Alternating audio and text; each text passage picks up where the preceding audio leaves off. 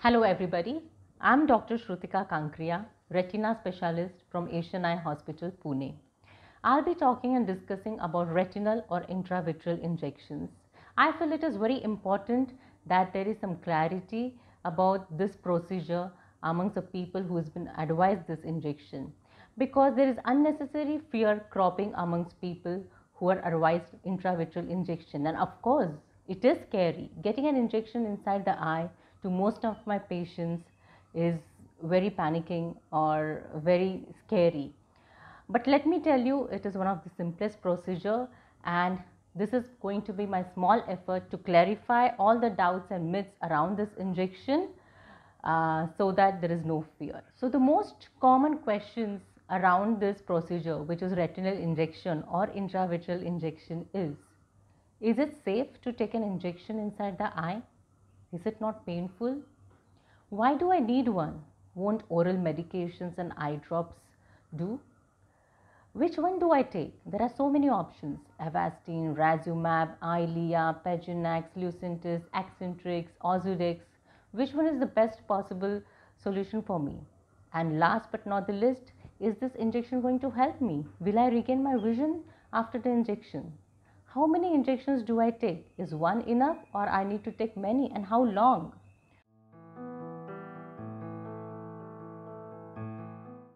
So the first question is why do I need an injection inside the eye? This intravitreal injection or retinal injection is commonly given when you have swelling or say edema inside the retina which is this area.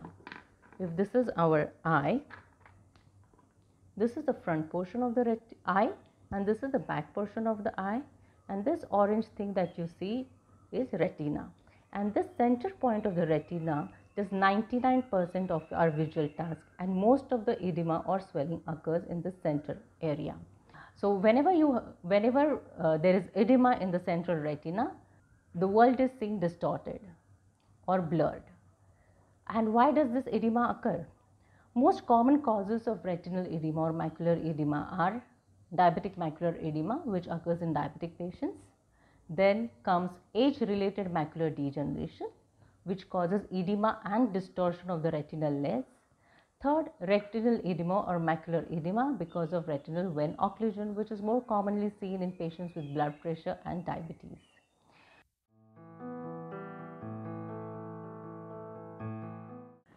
So, uh, why not oral medications? Why not eye drops for this problem? Why only intravitreal or retinal injection? So, let me tell you if this is our eye, the front portion is made up of cornea and lens and the back portion is made of retina and here is where our problem lies, the center part of the retina which does 99% of our fine vision task.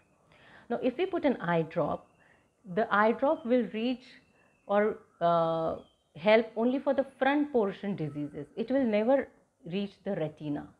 If we take oral medications, eye being an immune privileged organ and having thick layers or coats around it, any oral medication doesn't achieve its concentration at the retinal level. So only an injection when injected in this cavity reaches the retina which is the target organ in sufficient concentration. So it is almost 1000 times more efficient to treat any retinal disease when compared to eye drops or oral medications.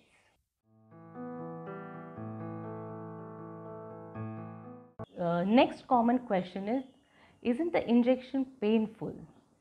The answer is no, a big no. The injection is not at all painful. Why? Because injection is given by a very thin needle, 30 gauge needle, as thin as a strand of your hair, and so it's painless. We anesthetize the eye with just a drop, and the procedure per se just takes, say, few seconds and you are out of the operation theatre in uh, say 5 to 10 minutes. And the entire procedure in the hospital would take somewhere around half an hour maximum 1 hour. Post injection also uh, there are not many restrictions. You just need to restrict yourself to your home for say 24 hours and that's it and it is definitely not painful I would say even an injection to collect your blood could be painful because it happens with a thick needle without any anesthesia, but this injection is absolutely pain free. Now, the next question is Are the injections safe? Is it safe to have a chemical going inside your eye? Well, let me tell you, it is one of the most common procedures we are doing these days inside the eyes. And it is absolutely safe. And had it been not safe, we wouldn't have been doing this for last 10 to 12 years or probably 15 years. And most importantly, it has revolutionized the treatment outcome in retinal disease. Say 15 years back, diseases like age-related macular degeneration, diabetic macular edema and vein occlusions didn't have any cure. We didn't have any option but to let the patient go partially blind because of these diseases. But this injections, intravitreal injections has definitely revolutionized this the treatment outcome of this uh, problems and it is very very rewarding. Of course like any injections or any procedure there are theoretical risk of infection but practically it is a very very safe procedure.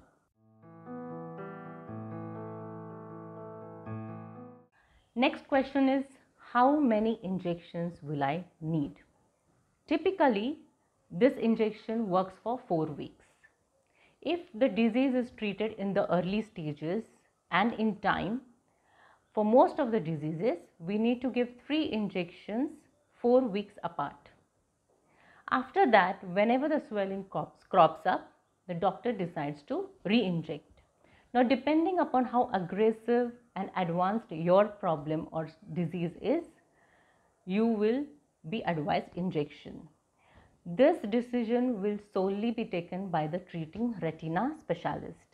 But yes, what is most important is regular follow-up and not missing an injection when your doctor advises one.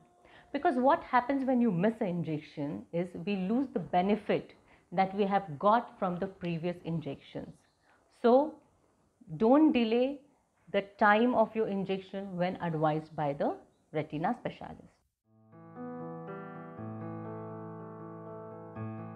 Next question is why do I need to repeat these injections? Is one injection not enough? Let me explain you this. If you're prescribed any oral medications, you take them once a day, twice a day or thrice a day as your doctor prescribes.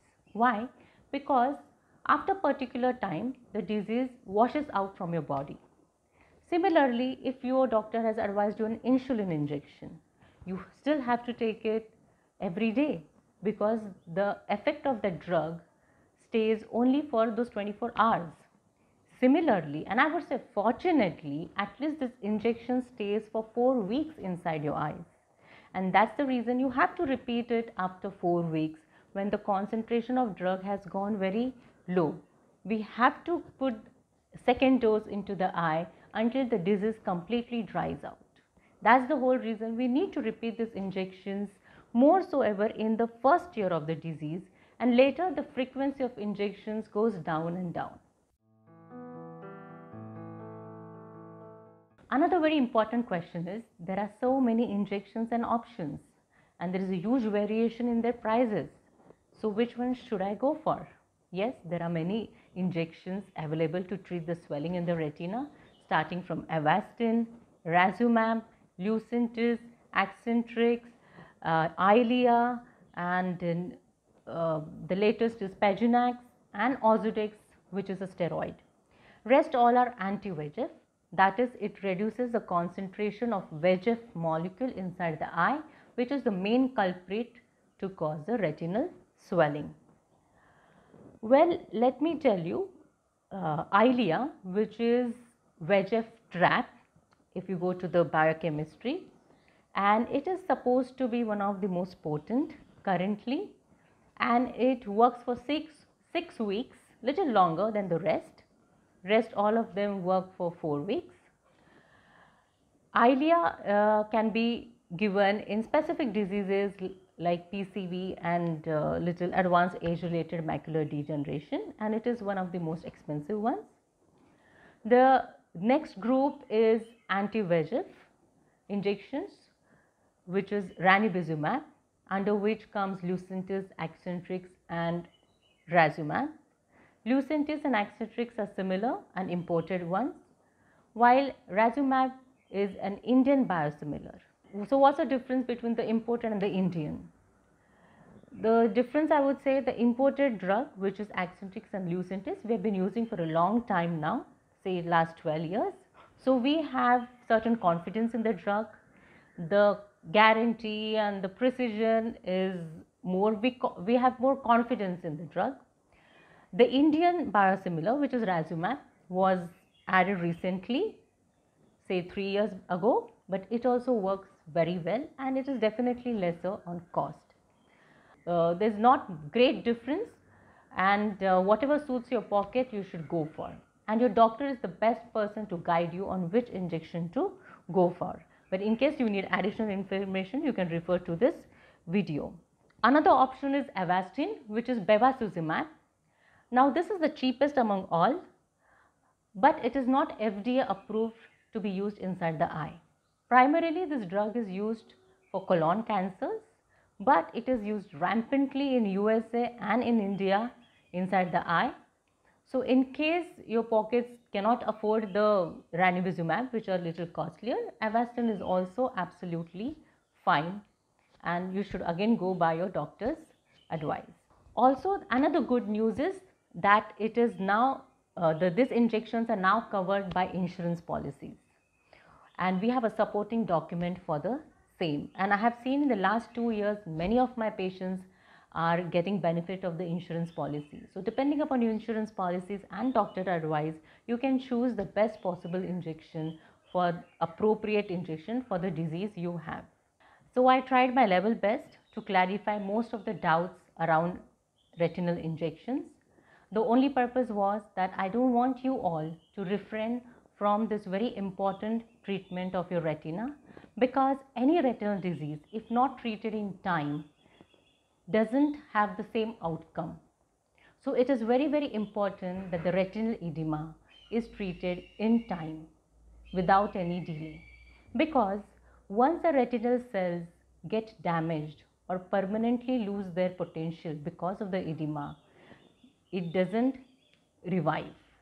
That's why timely treatment regular injections are very very important. And now that you know they're absolutely pain free and safe and been given in n number and million of patients all over the world uh, you should be ready to take one. Let me tell you one more thing. When i was in miami uh, under dr rosenfeld and harry flynn and i have seen there patients taking as many as 20 to 50 injections in their lifetime because the particular disease, age related macular degeneration, is very, very common in the Western world. And it's a routine there to get your OCTs done and get the injections into your eyes. Hello friends, I have taken eye injection today. It is a painless and it is a procedure of 5 minutes. After that I am comfortable and this iPad will be removed after 2 hours. Hello, I have taken 3 injections before also. They are painless, they are harmless and, and effective also. I am feeling better with this.